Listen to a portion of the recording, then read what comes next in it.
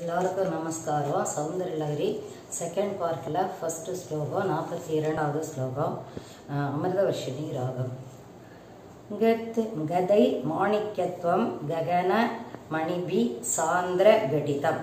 கிரீடம் தே ஹைமம் ஹிமகிரி சுதே கீர்த்த யதியக.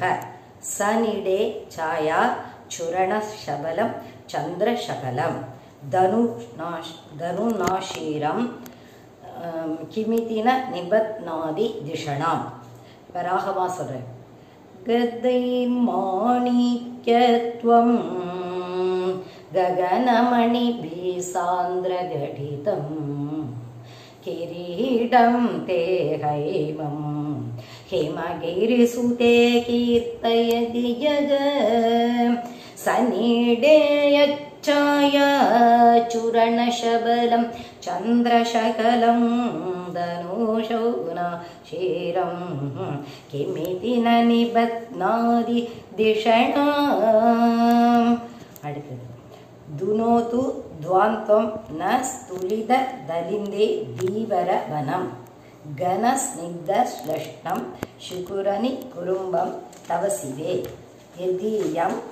सौरभ्यं सहज उपलब्धुं सुमनसो वसन्त्यस्मिन् मन्ये बलमदन बाडी पिडपिना பலராகமாக சொல்லு दुनोतु ध्वान्तं न स्तुलिदलिन्देति वरवनं घनस्निग्धश्लष्टं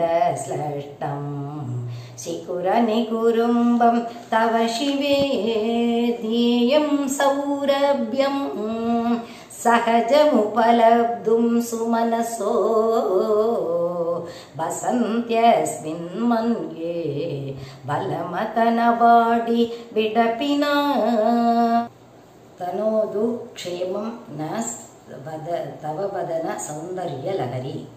परिवाह स्रोतः शरणिरिव सीमन्तशरणिः वहन्ती सिन्दूरं प्रबलकबरी भारतिमिर द्विषां बृन्दैर्बन्ति कृतमिव नवीनार्ककिरणम् ராகமா சொல்றேன் தனோது க்ஷேமம் நஸ்தவ வதன சௌந்தர்ய லஹரி பரிவாக ஸ்ரோதः शरणिरिव सीमन्तशरणिः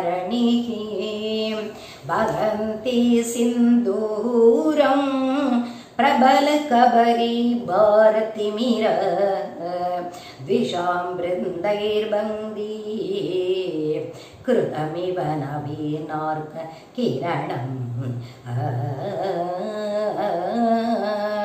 அடுத்தது அராலை சுவாபாவிய அலிகலவ தஸ்ரீவி ரலகை பரீதம் தே பக்திரம் பரிஹசதி பங்கே ருஹருச்சி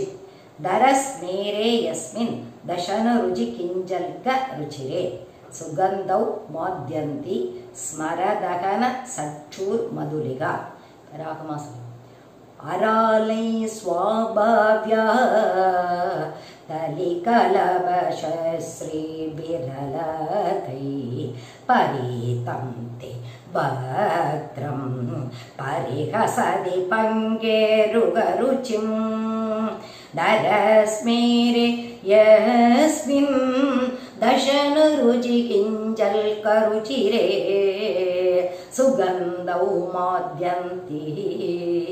स्मरधनसक्षुर्मधुलिग